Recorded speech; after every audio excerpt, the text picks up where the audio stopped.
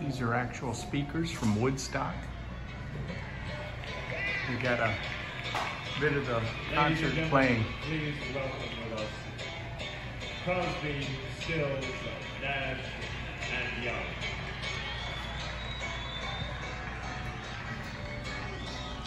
An idea of how big these speaker stacks were.